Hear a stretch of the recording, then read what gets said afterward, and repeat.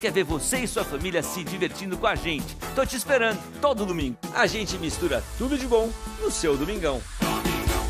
Jornal Anhanguera, primeira edição. Oferecimento São Nicolau. Ampliação da estrutura e investimentos em tecnologia. Sua garantia de qualidade. E Universitário Unijúnior.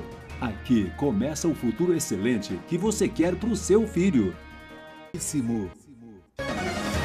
Olá, muito bom dia para você. O Jornal Anhanguera deste sábado está começando e na edição de hoje você vai ver o caso do professor de natação investigado por abuso sexual. 11 alunos já procuraram a delegacia para denunciar e podem existir mais vítimas desse professor. John William está com essa história. Bom dia, John. Bom dia, Suelen. Somente ontem o número de prováveis vítimas subiu de 9 para 11 e a polícia acredita que mais pessoas devem denunciar o professor de natação. Até já, John, com mais informações desse caso e veja também um homem acenando de dentro da carroceria de uma caminhonete chamou a atenção de quem passava pela BR-153.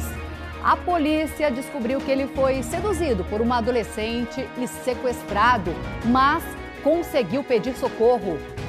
Reforço na segurança em Senador Canedo. Mais de 1.500 câmeras foram instaladas em vários pontos da cidade para monitorar ruas, praças, escolas e outros prédios públicos. De porta em porta, mais uma vez. Recenseadores do IBGE estão hoje em Águas Lindas de Goiás. A cidade teve o maior número de domicílios que não finalizaram o censo. E ao vivo vamos atualizar o estado de saúde das vítimas sobreviventes do acidente com o um avião que caiu na Vila Mutirão, em Goiânia, nesta semana.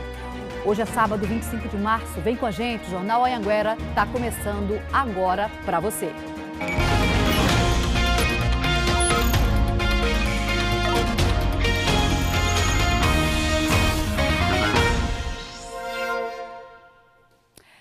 São 11 horas 47 minutos. Estamos começando o Jornal Anhanguera, primeira edição. Sejam todos muito bem-vindos.